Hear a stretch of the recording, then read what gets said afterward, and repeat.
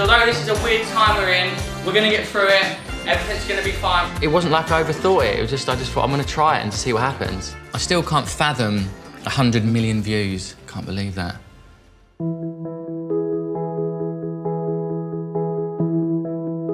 I was really not ready for this wave of emotion and gratitude that came through.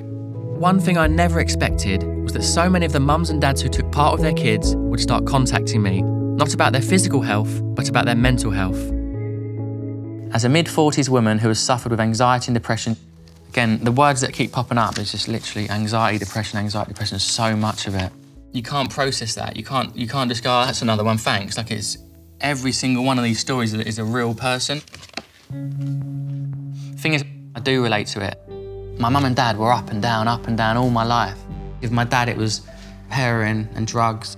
I remember just being really upset when my dad relapsed. I just hated how it took him away, like drugs took him away from me. It was really tough. You have a die, don't do that. And with my mum, it was OCD and extreme cleaning. The hardest time for me was, was during my teenage years when I really understood that my dad was a drug addict. That was when I was at my most angry and resentful, I think, because it was always, every year was a relapse, man. It was like constant. It's so frustrating when the person you love, you just want them to be clean. He relapsed, I remember the first thing I did, I got a job and I, I went straight down the gym and joined the gym and I used to go every single day, seven days a week. I'd train harder and harder and push myself. The gym was my sanctuary. I just felt like I wanted to go somewhere where I could just let out all that stress and tension, all that frustration. Today, after many years of therapy, my dad's clean and we have a great relationship. But we've never really talked about how his addiction affected me when I was growing up.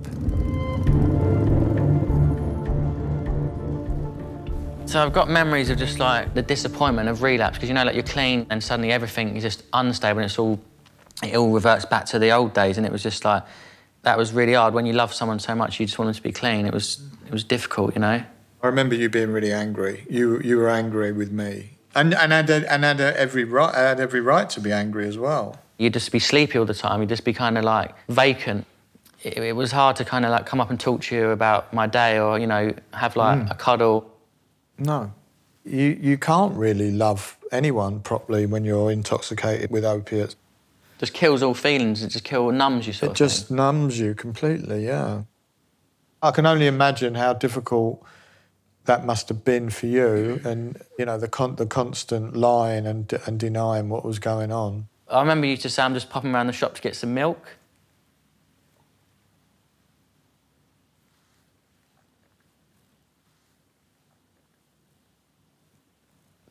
It was like your, it was like your code word for like, I'm going to go and score some gear. Like, you may as well just said, I'm just going to go and score some gear because I knew when you said like, I'm just popping around the shop for, to get some milk. You know, you never, you never came back with milk, but it was like I just I knew that, that that's what it meant, mm.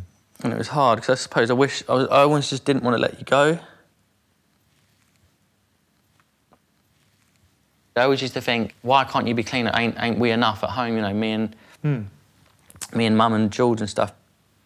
I can only imagine how difficult that must have been for a little boy I mean, I, I can remember thinking at times is like, the only one suffering here is me.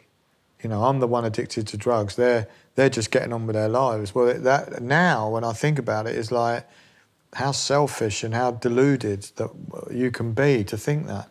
At the time, did you know you had had a mental health problem? No, I didn't know, but there was always there was.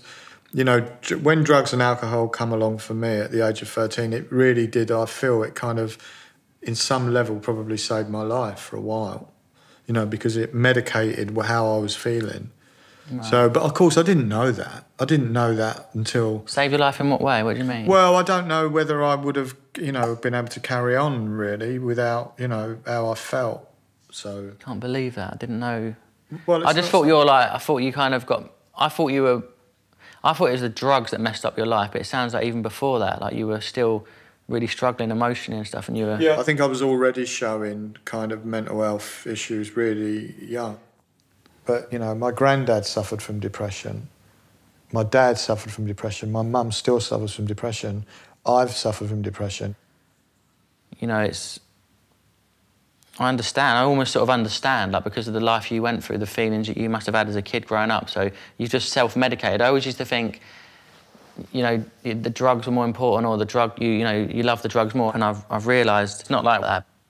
You know, how, how, how could you in that moment where you were, you were, you were self-medicating with heroin, how could you be loving and, and affectionate towards me? Like it just wasn't, it wasn't possible. No. I'm lucky you still talk to me when, when I, you know, thank God we have what we have today. But yeah. I think that, you know, I need to stay clean so that, you know, I, you're, so that your kids never have to see me like that.